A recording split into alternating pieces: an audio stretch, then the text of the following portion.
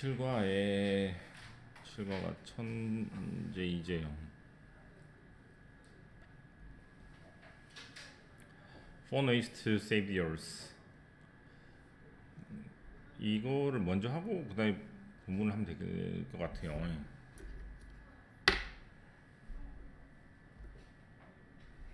의무 표현하기인데 시도라는 말 자체가 무슨 말이야? 뭐뭐 하는 게 좋겠다라는 뜻이니까 의무를 나타낼 수 있는 표현이 되고 머스트나 히브트를 써도 비슷할 것 같습니다.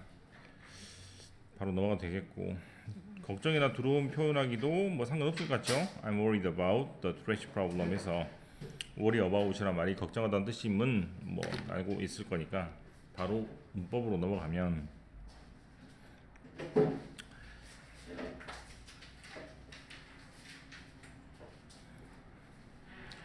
부동사의 형용사적 용법이란 형용사가 명사를 꾸미는 말이니까 앞에 있는 명사를 뒤에서 두 부동사가 꾸미는 것을 형용사적 용법이라고 합니다. 음, 해석은 뭐뭐 할 명사, 뭐뭐 하는 명사 이렇게 표현하면 될 것 같고 예문을 보면 we want to introduce a way to save water 물을 아낄 방법 이렇게 되죠. 다음에 three dogs to take care of에서 돌볼 개 이렇게 하면 되겠습니다.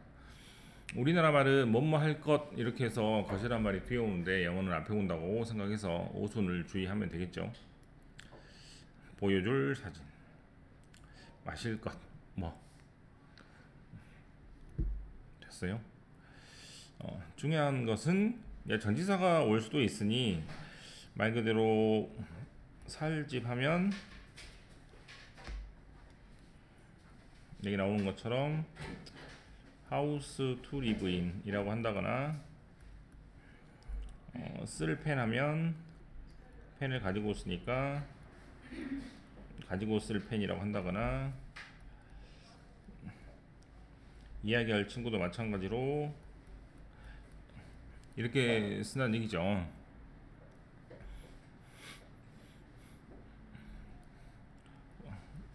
앉을 의자 할 때도 어, 체오토스 오늘 하니까 여기 있는 전사를 빠뜨리면 예, 문제가 될 수 있으니 이것도 잘 챙기면 될 것 같아요. 그 다음에 형사적 문법에서 잘 나오는 명사들이 있는데 밑에가 적을게요. 어떤 명사가 잘 나오냐면 어떤 명사? 뭐뭐할 것? 뭐뭐할 사람? 뭐뭐할 시간? 뭐뭐할 장소 뭐뭐할 방법 이렇게 나오고 to부정사가 이렇게 뒤에서 앞에 있는 명사를 꾸민다라고 생각하시면 되겠습니다. 음, 잘 나오는 명사라는 말은 무슨 말이냐면 something이나 someone은 뭐한 사람 정해져 있지 않은 사람이니까 뒤에서 설명을 해줘야 돼. 그래서 이런 말 나오고 나서 뒤에 to부정사 나오면 대부분은 형사적 용법이라고 생각하면 되겠습니다. 그리고 우리 책에도 설명이 되어 있지만 something이나 someone 같은 표현은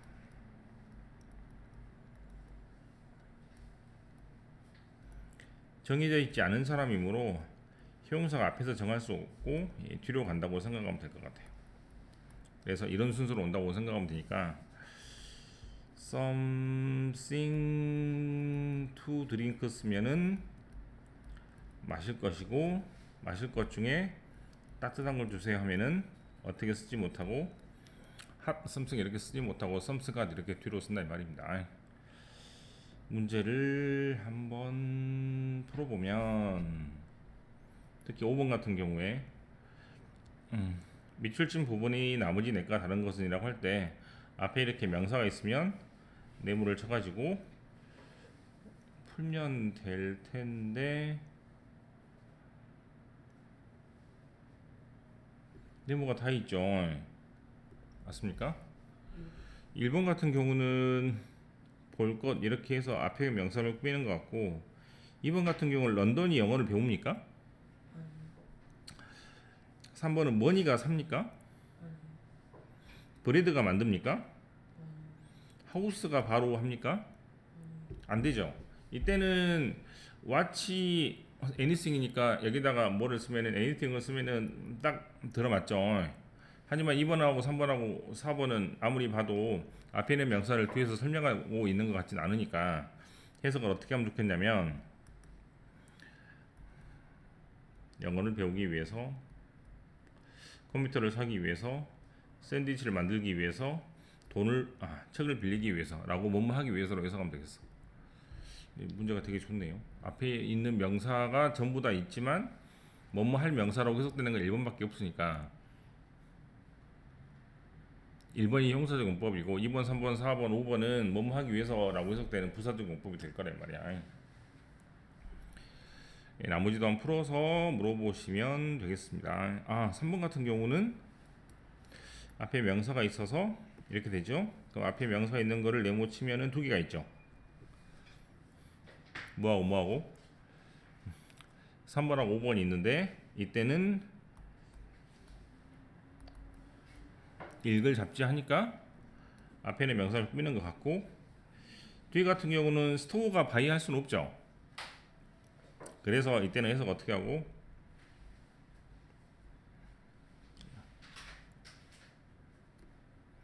그래서 5번은 안 되고 3번이 될 것 같은데 어, 부정사 용법 중에서 앞에 있는 동사가 go나 come일 때는 뒤에 있는 to부정사가 무조건 뭐뭐 하기 위해서라고 해석이 되니까 이걸 외우고 있으면 더 빨리 풀 수 있을 것도 같습니다.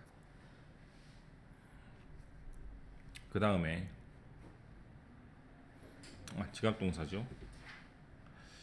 자 여기서는 1번이라고 적어서 대부분의 경우는 주어 동사 목적어 다음에 동사가 또 나오면 뭐를 쓴다? 아, to를 쓰는 것이죠. 예를 들어서 엄마가 말합니다. 나한테 뭐라고 공부하다가 아니고 공부하라고 하는 거지. 네, 그래서 to를 쓰는 게 일반적이고 대부분의 경우니까 공부할 필요가 없겠지만 대표적으로 이 자리에 오는 동사는 텔이나 에스크나 원트가 대표적입니다. 그럼 뭘 공부해야 돼요? 예외를 공부해야 되죠. 예외는 뭐야? 조동사 목적어 다음에 뭐를 쓰고 to를 쓰고 나서 동사 원형을 쓰는 게 일반적인데 to를 안 쓰는 경우가 있다고. 어떤 경우라 그랬어?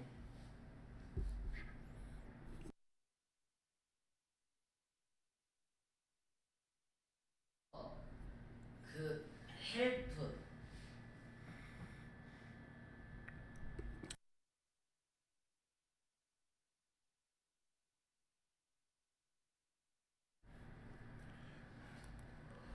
지각동사하고 사역동사하고 help입니다. 오늘 배울 것은 지각동사가 되겠죠. 지각사역 help는 목적어 다음에 동사 원형어서는 아주 예외적인 경우이기 때문에 중학교 2학년 때부터 계속 시험에 나올 거라고. 우선은 지각동사부터 하겠습니다.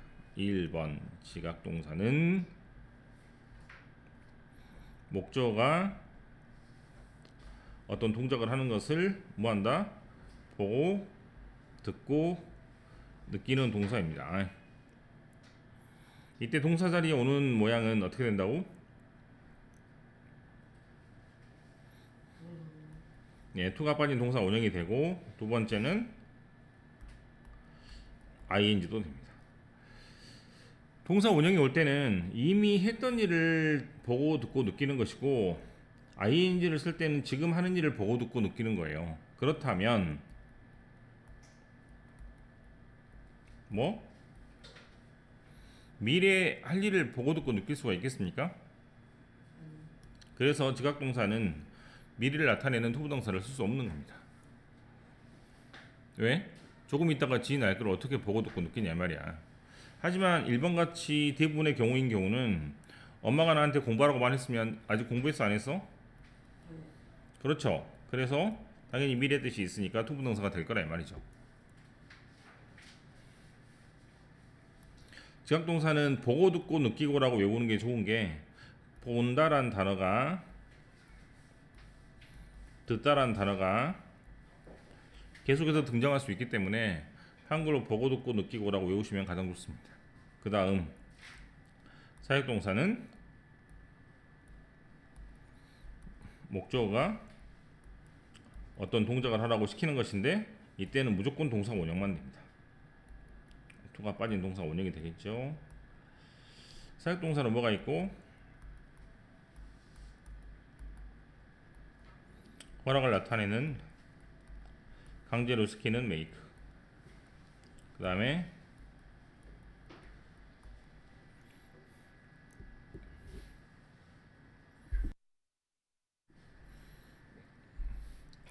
부모가 자식한테 또는 선생님이 학생한테 또는 사장이 직원한테 시킬 때는 대부분 해부라는 동사를 많이 씁니다. 마지막 헬프는요. 헬프는 목적어 다음에 to를 써도 되고 안 써도 됩니다. 대신 ing는 쓸 수 없어요. 지금 이 과에서는 지각동사만 말하고 있기 때문에 지각 동사는 목적어 다음에 동사 모양을 어떻게 쓴다? 첫 번째 동사 원형하고 ing를 쓴다. 이게 가장 중요한 것이니까 이것을 통해서 문제를 대부분 풀 수 있겠지만 조금 복잡하겠지만 1번, 2번 즉 대부분의 경우하고 사역동사하고 헬프까지 같이 알아두는 게 되게 좋을 거예요. 이 문제를 풀면 풀면서 한번 확인해 봅시다. 우선은 교과서 예문을 보면 If you turn the water on 물을 틀어 놓으면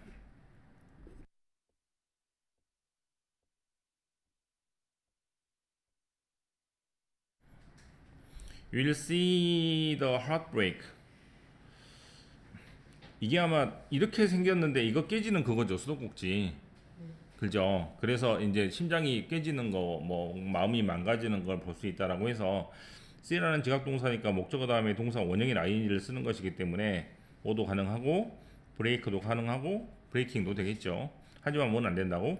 to break는 안 되는 겁니다. 그 다음 I heard someone call my name. 나는 들었는데 어떤 사람이 내 이름을 부르는 것 또는 부르는 것 하지만 이따가 부르는 것은 보고 듣고 느낄 수가 없으니까 토크로 안 된다 이거죠. 지각동사 문제는 대부분은 아, 4번 예, 4번 우선 풀어볼게요. 어법상 어색한 것은이라고 돼 있죠. I heard the boy play the piano. Did you see a man swims?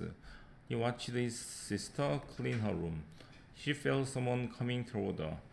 Uh, the students smell something burning이라고 해서 여기는 지각동사, 지각동사, 지각동사 다음에 목적어 다음에 뭘 쓴다고? 동사 원형이나 ing를 쓴다 그랬잖아, 그죠? 그럼 동사 원형도 쓰고, 뭐도 쓰고, ing도 쓰고.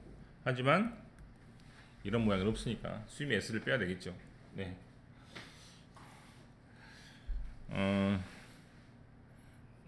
여기까지 풀고 모르는 거 있으면 이따가 질문 받을 테니까 좀 쉬었다가 해봅시다.